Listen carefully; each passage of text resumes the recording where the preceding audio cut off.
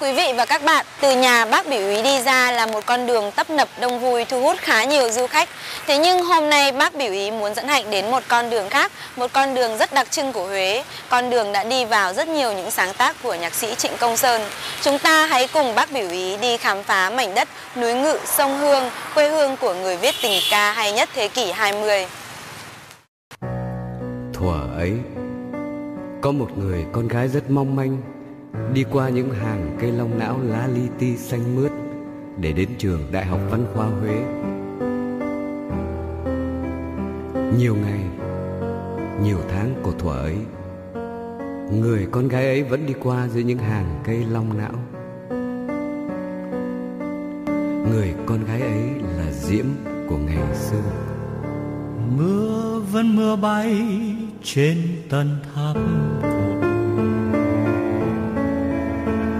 Đây là đường Nguyễn Trường Tổ, là đường của Trịnh Công Sơn đây. Trịnh Công Sơn ở đường xa kia, rồi hàng ngày đi ra đường Nguyễn Trường Tổ này. Thế còn uh, con nhìn thấy có những hàng cây hai bên bờ sông như thế này, đây là cây gì hả bác? Đa số là cây long não. Tại sao lại gọi là long não hả bác? Lá này được xúm xít xúm xít, nó đáng với nhau, giống như hình cái bồ não của con rồng. Cái lá này nó có mùi thơm không bác? Rất thơm.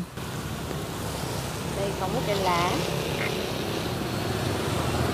như, như bác nói là lá có mùi rất là thơm con sẽ thử. Rất là rất là thơm ạ. Con thấy cái tán của nó như là đang trụm đầu vào nhau. Thì nắng nó dòi chiếu vào cái lá long não cái lá long não nó lung linh. Nhìn xa như những như ảnh nến vậy vâng. nắng thủy tinh vâng nắng thủy tinh. Ngàn cây thắp nến lên hai hàng. Để nắng đi nghe lá thu mưa, reo mòn gót nhỏ. Đường dài hun hút cho mắt em sâu.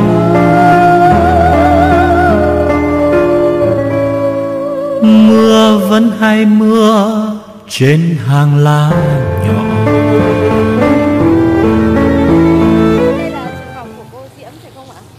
Đây là trường học của uh, Diễm và luôn cả cô em là Giao Ánh nữa. Mối tình nào của Trịnh Công Sơn ở Huế, tất cả các thiếu nữ ấy đều học ở trường Đông Khánh này. Khi hát lên, không cần nói đấy là phố Huế nhưng người ta có thể biết đấy chính là phố Huế trong Trịnh Công Sơn ạ. À? Giai điệu nó êm ái, nó nhẹ nhàng à, làm cho người ta nghĩ đến cái thành phố Huế này nhiều. Trong năm có những lần mà lũ lụt lớn, tưởng như cái thành phố nó lọt vào giữa cái dòng sông uốn quanh vậy. Là phố bỗng là dòng sông uốn quanh thì đấy chính là cái đặc điểm rất đặc trưng của Huế. Ở Hà Nội thì chúng con hay dùng từ ra phố hoặc là xuống phố nhưng trong rất nhiều những sáng tác của Trịnh Công Sơn con thấy có từ sang phố hay qua phố. Người ta thường phải đi ngang qua cây cầu này.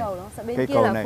Không ạ? Mà ngay cây cầu này đã là một cái hứa hẹn rất là vui tươi rồi. Thích cuộc đời nó được đô thị hóa mà. Như vậy là có thể thấy là Trịnh Công Sơn lúc nào cũng cảm thấy cô đơn nên Trịnh Công Sơn luôn tìm đến phố, tìm đến chốn đông vui. Có lẽ chính vì vậy mà trong các sáng tác của ông hình ảnh phố luôn luôn trở đi trở lại và đặc biệt đến như thế qua phố sang phố để tìm về nhà cũ cũ và người cũ có thể đã thay đổi, nhưng nét huế duyên huế vẫn còn. Phố xưa, phố nọ, phố xa lạ, phố thanh thang, lúc tách biệt ra để ngắm phố, lúc hòa mình với phố. Thế nhưng trên hết vẫn thấy ở người nhạc sĩ tài hoa họ trịnh một tình yêu tha thiết với cuộc đời, với quê hương.